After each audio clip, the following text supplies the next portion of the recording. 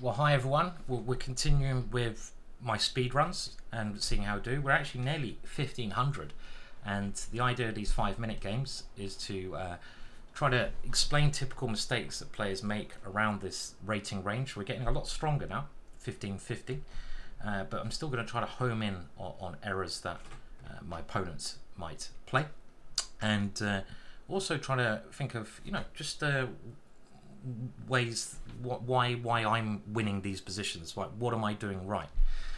Okay, so my opponent has played a, a very dubious opening, and again, I, I, was very critical of this move earlier on in the speed run session. Some gambits are okay, but some gambits are just tricks. They're very superficial, and they're not going to help you improve in the long run. Uh, and this gambit, which I know is a bit of fun, but it's not going to advance your the Englund Gambit, your understanding. Now, I, I can't actually remember what I'm supposed to do, but it's something with this capture here, isn't it? So, is it uh, bishop f4, check. Now, let me get this right. So, I could always give this pawn up. I can't. I had this earlier on. I know in the speed run thing, but it's been a while since we since since I've looked at this again, my memory. So I just I know this is bad, but I've got to remember why. Even if I play my knight out, it's good for white. But here, check. Here, and takes here is good for him. Why can't I remember this? This is crazy. crazy. You know what I'm going to do? Uh, because I can't remember the right way to play the refutation of this. I mean, it's I'm just going to keep it very simple and develop my knight just to come to the square because I, I, I don't know I just had a mind blank. This happens as you get older I'm afraid. And I'm just going to keep this extremely simple now. And I'm going to go for a very small advantage. Uh, I know there's a refutation there. And and the problem is you know you know when you're when you're playing these Englund gambits all the time you know you might get the odd brilliant win. And it's all right to play it occasionally I guess. But just please don't have some, an opening where you're going to be minus you know, I, I, by the way, I'm just going to put my pieces on best squares. I want to control the center, so I'm, I'm just going to control the center now. I'm going to keep it very, very simple. Okay, he's attacking my knight. I defend my knight. And but it, you know, you need to play openings that will last you a lifetime. That that's something I, I feel is important to to remember. Okay, anyway, let's go back to the game. So all I've done now is just try to develop, try to castle. I'm going to castle very soon. My opponent's moved a piece into my half. I want to give it a kick. But now let's complete that development. And now I can start thinking about what is next in the position. Now here, it seems, and one of my main ideas was always to go bishop f4 once I've completed my development, and I'm going to do that because I'm hitting this pawn. So I haven't, again, done anything special in this game, and it looks like I'm going to get a very nice position by just trying to win that pawn. This is one of the advantages of kicking this bishop away. So what do I capture with? Well, I think the more aggressive move is to come in with the queen. He can't castle because I win that knight. And this way allows me to put a rook on the open file. If he attacks my queen, I simply check. There's nothing to worry about over here. He can't checkmate me with a queen. If he could get his bishop here and his knight here, it'd be different. But how can he ever get his knight to this square? So he's gone here. He's trying to um, take my bishop, but even that I'm, I'm not concerned about. Um, I could now even win more material with this move, but do I want to complicate it or do I just want to keep it very simple? Well, I'm going to keep it very simple. He can't castle. I'd be upset if I allow him to castle in this game. But this move must be a good logical move because in some cases, of course, if he ever takes my knight, there'd be this checkmate. If he takes my bishop here, I don't want him to castle, so I'm going to take my pawn. It looks like my king could be weak, but I don't really believe it. I can always bail out into an ending here with queen there check if I get scared. The only thing I have to watch out for is bishop here and queen here. But okay, he's moved here. And now this is going to be weakening my king a lot. Okay, so maybe he, he is going to get castled here. And that's a little bit annoying, isn't it? Maybe I have to go into a slightly better ending now with this move. Can I do anything else first? Well, knight here, I might try, but then queen takes here. b4, does that help me? Well, then this one. Okay, let's go b4. I'm thinking I probably should just swap swap the queens off because I can't see any way I'm going to stop this move, but I'm going to do it on my terms, and I'm now going to play it. And we're a pawn up in an ending. Of course, we're a minute down. What's my opponent's error? Well, I mean, it's a bit of a dubious opening, but he played his opening moves very quickly, even though he's probably in a position he didn't know about. He played it a little bit passively, which was funny. He should have put the pawn on d5 rather than the square. Saying that, I've still got a lot of work to do here to win this position, especially now that I've kind of weakened myself here. So it's not by any means straightforward, this. Um, so what do we do? e3, king f2.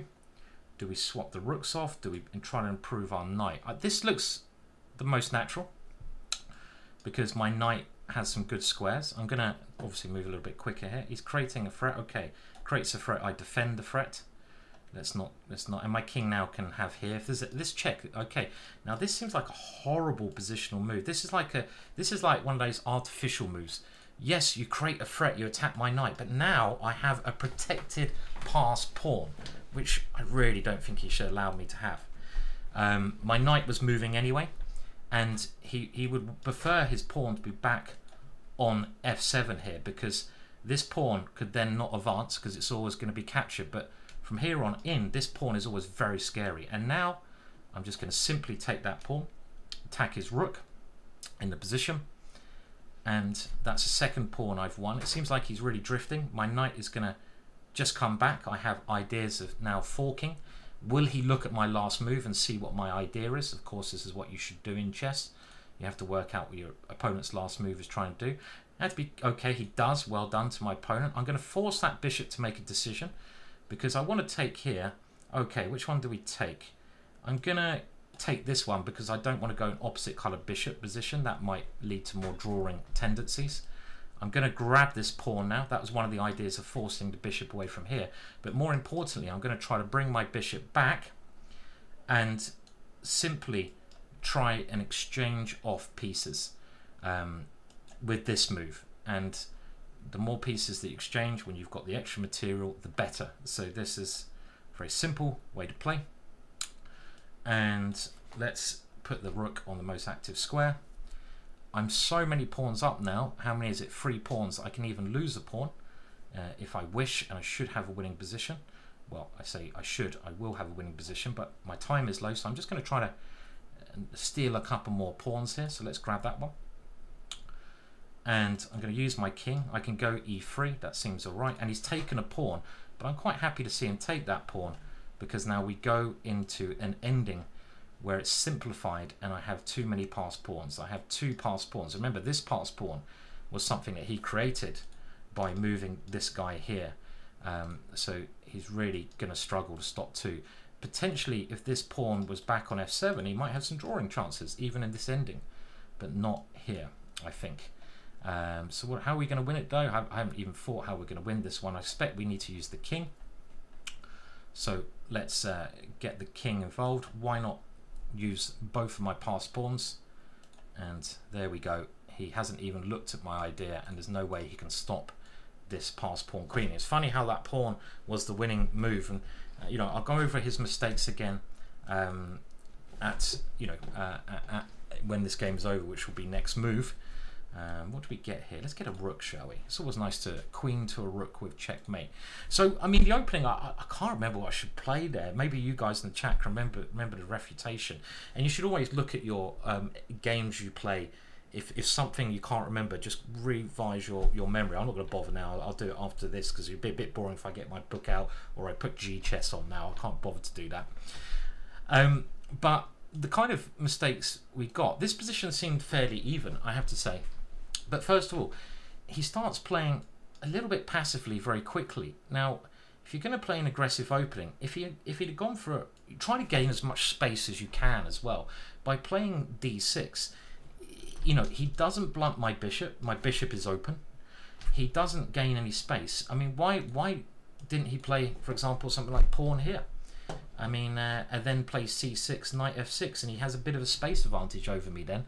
He doesn't have the problems with the d6 pawn he has in the game. So try and get as much space as you can in the opening. Um, avoid these dubious openings. You can play them until you start losing with them, but at some point you will start losing with them. And um, what other things did he do wrong? Well, you know, he, he played very quickly at the start, but he didn't really seem to know what he's doing. I'm developing. Why did he play this move? It just weakens d6. And if he's going to do it, well, he's really in a lot of trouble already here because he doesn't want to give up the two bishops. So it, the opening has gone wrong for him. Okay, let's get uh, another another game in, shall we? Okay, we've got the black pieces. We go back to the black line now, another one of my favourites. So again, I break down the openings in stages. The black line, generally knight here and knight here. But if they put their pawn on the f4 square, you may have seen me play this in a, in a previous speed run, I like this move because you get a good Scandinavian. Now they advance, but what I find here is that this knight has some very nice squares. Generally this square for knight, again, I know I don't know the theory here, but I know what I'm trying to achieve. I'm generally trying to get my knight here, but the other thing I'm trying to achieve, which you can't do in a French defense, if I play pawn here, it'd be like a classical French. But then my bishop is blocked in behind the pawn, so another thing you can do in this opening is get rid of this bishop. So I'm just going to exchange this bishop off. Okay, he's moved his queen here. That's interesting. I mean, do I have to watch out for a check? Um, interesting move there. I think I don't. I think I'm not going to worry about this one because I can give this pawn and get a lot of development. So I'm going to go here because I have this square for my bishop. Yeah, well, he's grabbed this pawn, but it seems very risky. He's losing a lot of time. So I'm just going to develop. And well done on winning a pawn. Congratulations. I hope you're proud.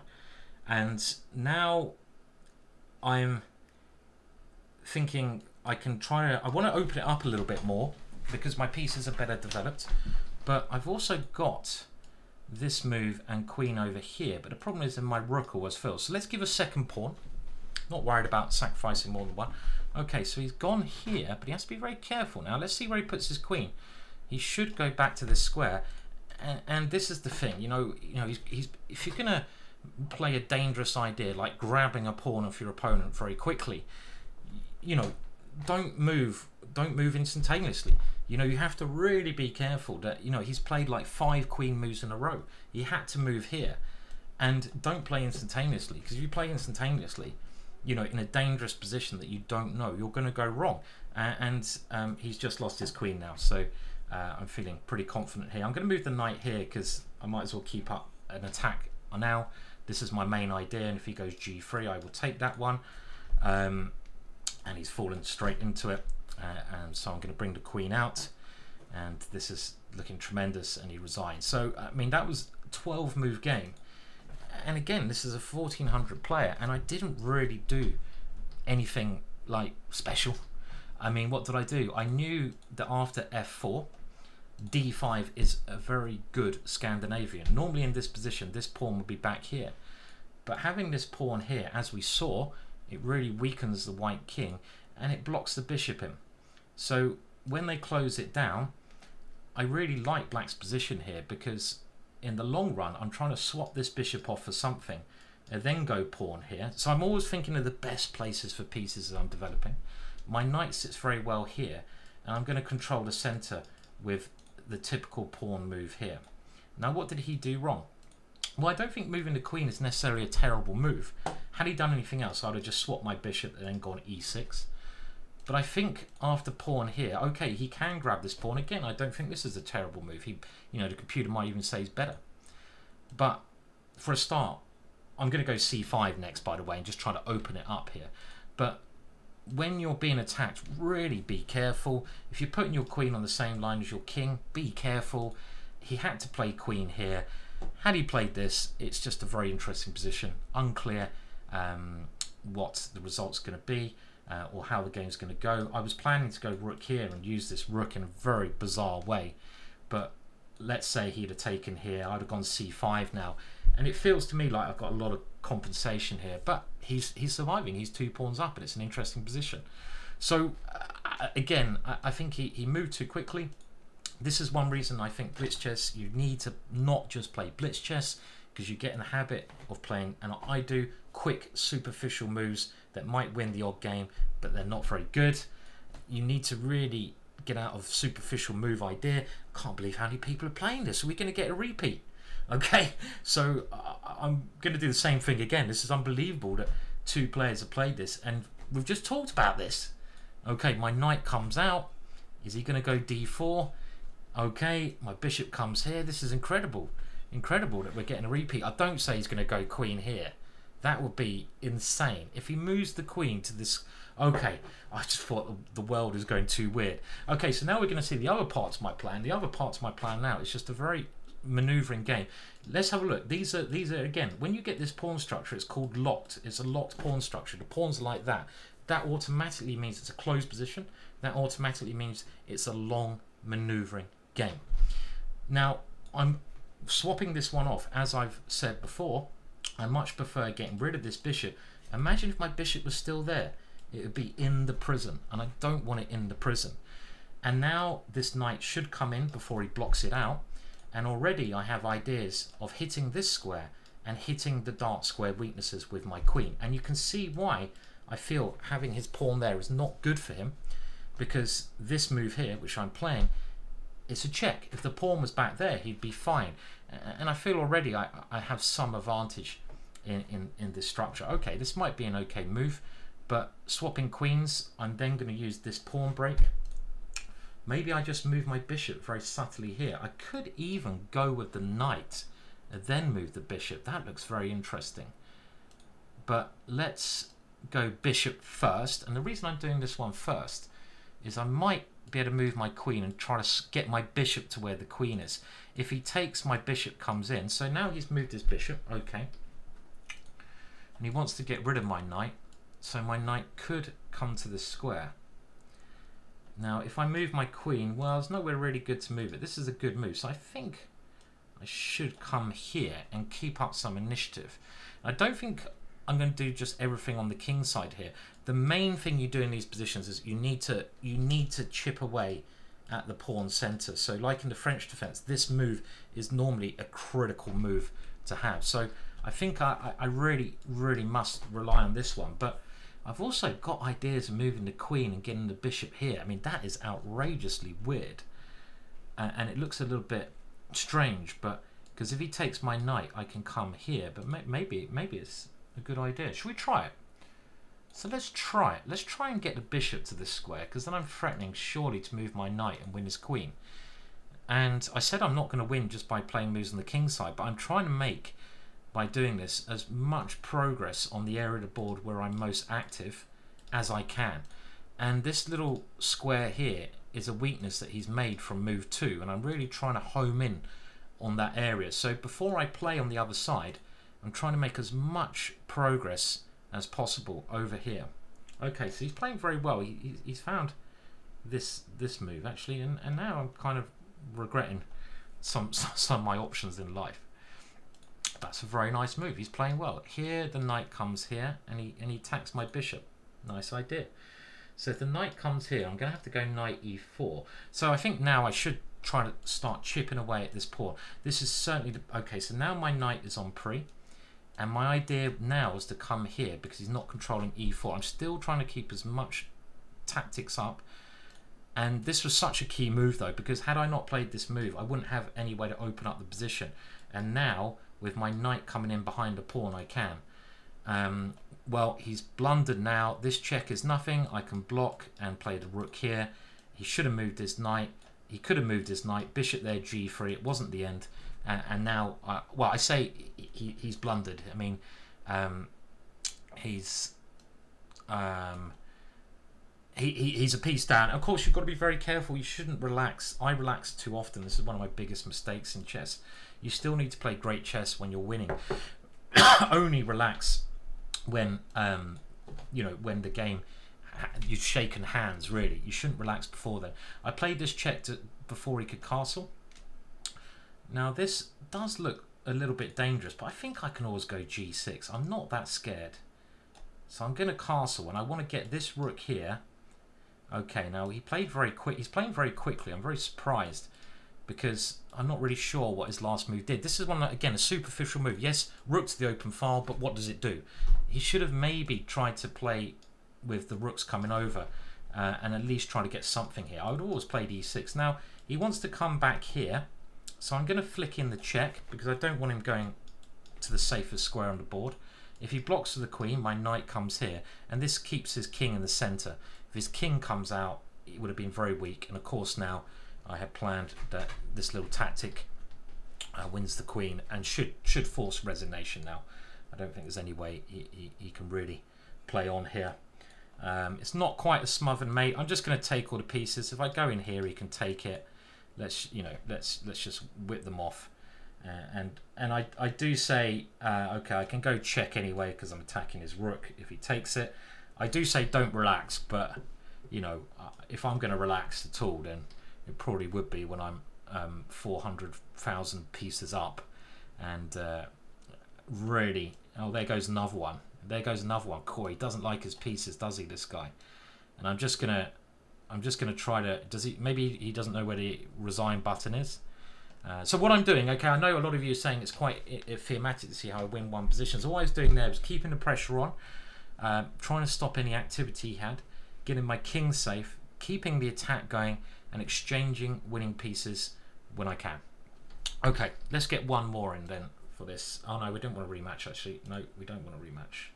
Okay, all right, we're playing someone else. And let's go back to the Jobava London. I'll play e4 on the next speed run.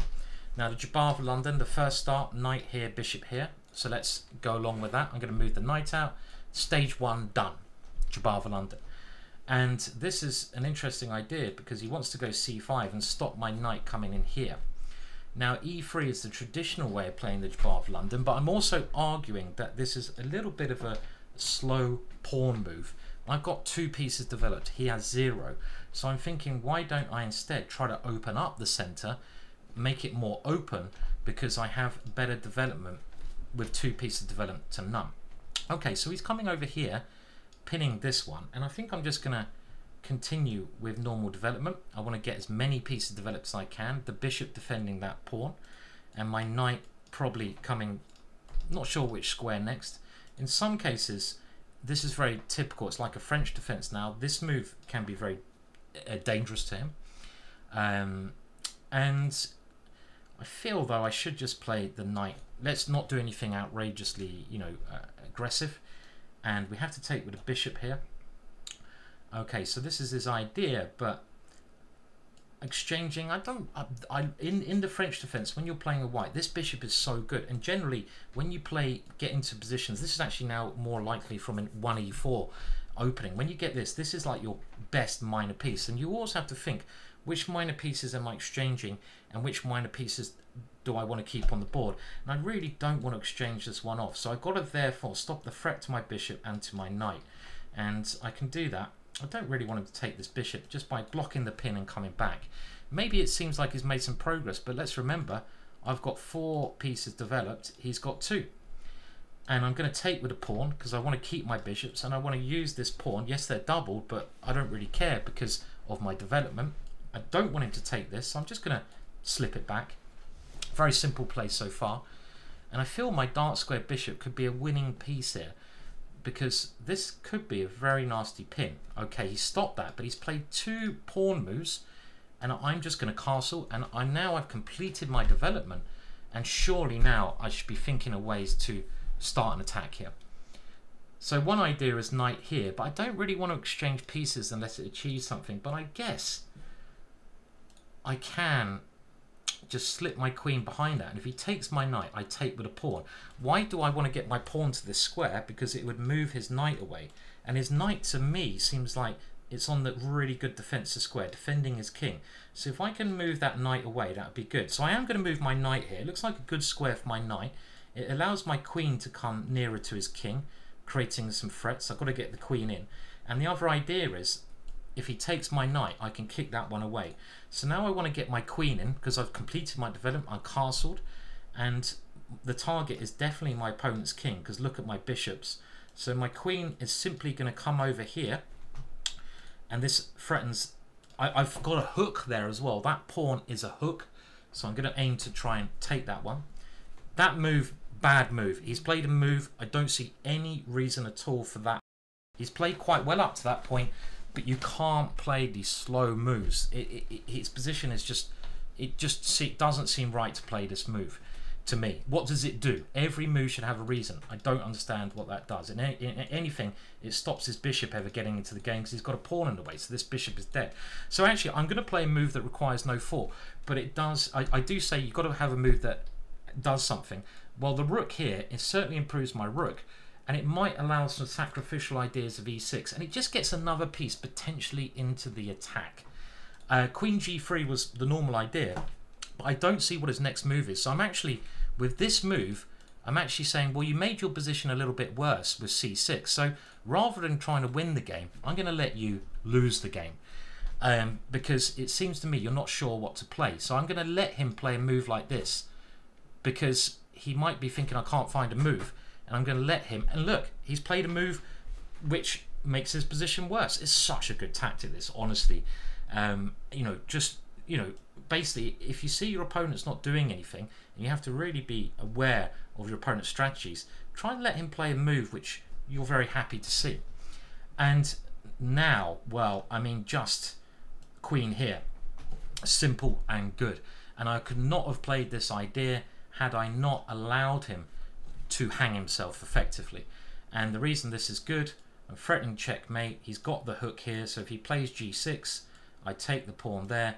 If he plays this move, well, okay, I've got to keep it open, but he has a lot of weaknesses here. He's got to take with a knight, because he's got to defend h7, but this pawn is now weak, and his, his position is very, very weak. I'm going to move my queen in, and he should now try to swap queens off. I've got the threat of bishop takes pawn. My rook might be able to swing over. I don't want to swap queens, so I'm going to move my queen back, keeping the threat of this one, but also my bishop want, might want to come in here, attacking his queen. My rook is very good. Look at this bishop, really bad piece. The double pawns make no difference. I might even try to get my last piece in the game, this rook. Uh, I love it when all my pieces are just working so effectively together. So this, okay, so he he's trying to keep, he's playing, he's playing okay. Now, I don't want him to move that pawn where his bishop gets in. He's moved his knight. I've got to move my queen. If I move over here, he might move his pawn, and his bishop's free. So I'm going to put it right in front of the pawn. And I realise now his knight has nowhere good to go. I take it if it goes there. His queen doesn't really have anywhere good to go. He can come to f7, but I can stop that threat quickly. His bishop doesn't have anywhere good to go. His rook doesn't have anywhere good to go. So as well as, you know, I'm, I'm playing this game maybe more in, a manner that I'm stopping his ideas. So he's still finding pretty decent moves there. So I've got to stop this threat. And, um, okay, maybe his knight is coming in here next move. So he's actually playing, this is a good move. So, okay, I'm going to just play f3. I'm going to stop his threats. Uh, and now if the knight comes here, I kind of want to keep my bishops, but do I, can I go bishop f1? Well, maybe I have to take here and play against this bishop here, but we get more of an ending there, which is a little bit disappointing. He's defended this very well. He's defending this very well, actually, all things considered. He should definitely move his knight here. Otherwise, I'm going to get a time to take control of that square. Why has he gone back? Where? Okay, well, I'm happy to see that, obviously. Uh, got to move quick here. Okay, c4. Why have I played c4? I'm taking away that square for the knight, and my bishop might come here, so I'm improving my position as much as I can. I haven't got an immediate win though. I'm just improving my pieces. Okay, he's trying to swap off the queens. I'm going to come back. He no longer has knight here. And I really want to get my rook to this square, as we've discussed before, and get my other rook over. So I'm also asking the question, what's he actually doing with his pieces? I've got this move under control, so he can't get his bishop out. If he comes with a check, I've got, so what? I can even block. Um, and this move is, okay, he's moved this one and uh, I'm coming in with a rook because I want to get the other rook behind that one and I'm pinning that pawn down. This weakens his king even more. Just want to get my last piece into the game. If he tries to attack my rook, I can take the pawn. Okay, so let's get my last piece into the game. And now that every piece is developing, this seems like a major weakness. Maybe I can take this one. Takes, takes, check. The king comes here. Um, I've got queen check, rook h4. I think that's winning. Let's go for the immediate kill with this. h4 would be my other option, but this move, to me, looks like it should be winning. Uh, and the point is, I now have check. His knight has to block. Now I have this move. And because of the serious threat of this, I don't see how he can defend this one threat. So I did in this game use a little bit of calculation to finish it off. Again, no more than four moves, five moves there, which you can all build up um, just by a bit of work. And um, I feel that this is going. Do remember, by the way, do do like and subscribe to to this channel as well. It does help. So, okay, I've still got to win this game. Why didn't I take the rook? I was thinking about my clock there, uh, and that was a blunder on my part. So I'm just trying to get as many pieces against his knight, but I've only got 25 seconds left, so I can't um, be a slouch here. But of course, I should be quite easily winning. Well, I am easily winning. There's no doubt about that. But uh, I could have gone there and won quicker. I'm so bad when I'm short time though. Uh, but I'm trying to play good quality chess. The time, not so important at the moment. I'm not here to win rating points, even though I do want to win every game.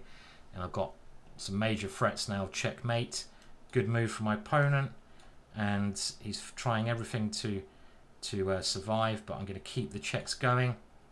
And which way is he going to go? He's going to go there. Where's he going to go? He has to come out with a king because we have checkmate if he goes there.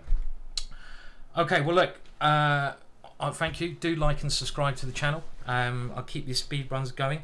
Hope you're learning stuff. I'll try to answer some of your questions in the chat when I get a chance. I haven't been very good with that recently. I apologise, but you know I'm telling you all my thoughts, and hopefully we're learning something as we go through uh, the rating boundaries. Thanks. Bye.